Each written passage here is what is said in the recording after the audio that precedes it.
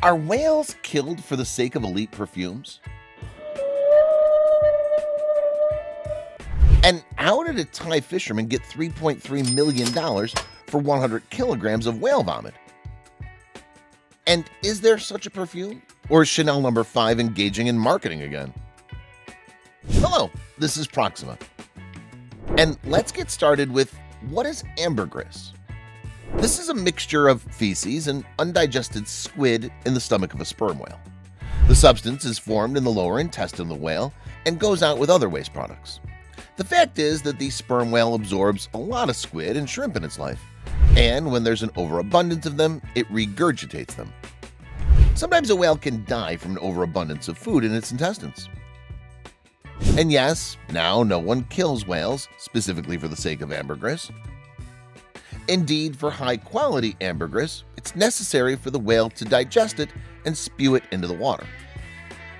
Previously, for the sake of this valuable product, poachers hunted whales in mass, but not all types of whales have the ability to produce this substance. Only 1% of all mammalian sperm whales excrete ambergris, and it's not necessary to kill them for this. Why? Let us explain. Fresh ambergris from the stomach smells like whale feces, so it's not caught immediately, it just floats in the seas for decades and is saturated with sea salt, air, and sun. Only after such a long voyage does it acquire its fragrance. Washed with salt and burnt out in the sun, the ambergris is brought to the shore. It's harvested and sorted according to the degree of maturity. If it's not mature, slippery ambergris, it's not used because it's not suitable for perfume black ambergris is added to low-quality perfumes. Brown is added to woody fragrances, while white ambergris is used in niche and luxury perfumes. The standard size of ambergris can range from a few grams to 2 to 3 kilograms. The largest piece of material in the world was 122 kilograms. It dissolves in essential oils, alcohol, and softens in the hands, but it's not malleable to water. It also burns specifically. At first it becomes a viscous mass, and then evaporates. Ambergris is not the main scent in perfumes, rather it works as a scent fixative. Would you like to know what luxury perfumes use ambergris? Like this video and we'll tell you a lot of interesting things.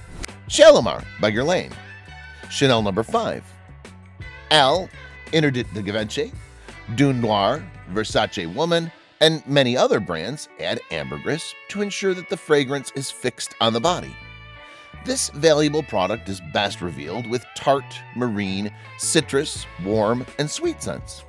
But unfortunately, perfume with the smell of ambergris do not exist. It's like an elusive mood and state that emphasizes the main flavor. As an aphrodisiac that acts on both men and women. The value of ambergris is that it's very difficult to obtain from the natural environment. It's in limited quantities, and accordingly, such perfumes will cost from $2,000 and more. But of course, the uniqueness of this product cannot be beneficial for sales and marketing, so perfumers have learned how to develop synthetic ambergris and sell it. If you Google ambergris perfume, you'll see a lot of cheap perfumes for different tastes. Not only perfumers, but also ordinary fishermen benefit from ambergris.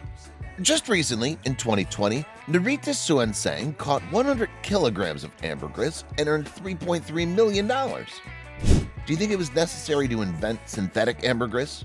Or was it necessary to leave a tribute to the uniqueness of perfumes? We look forward to discussing in the comments.